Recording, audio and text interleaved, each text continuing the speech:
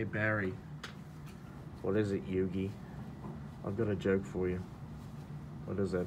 Yeah, I don't know what to do. Plexiglass. He's gotta do math. I keep telling him that.